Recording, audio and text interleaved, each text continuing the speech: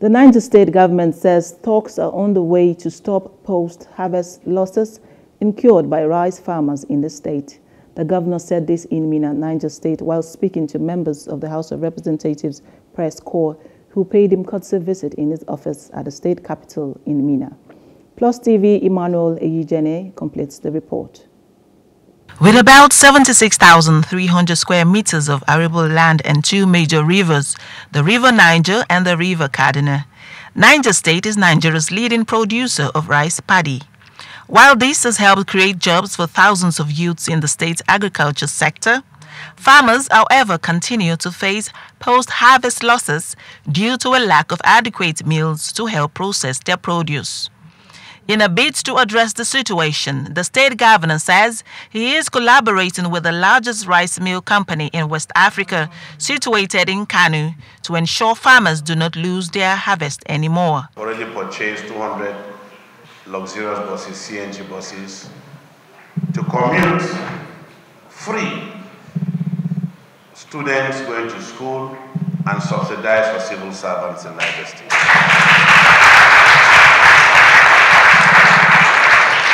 100 will commute Abuja and Suleja daily. 50 will be in Minna, and others will be spread between Kontagora, Bida. First, this is the first phase. The governor says that in order to cushion the effects of subsidy removal of citizens in the state, 200 CNG buses have been purchased to relieve workers and students to lessen the burden of high transportation costs within the state. How do we take the comparative advantage from that is that we first aggregate this paddy and trade them off to these people instead of people just come and carry it and our people are losing. So we want to empower our local farmers with improved seedlings and inputs so that they can produce more tonnage and also make more money. So we're going to have an MOU with that company, the Niger State Development Company and Gerawa Rice Mill.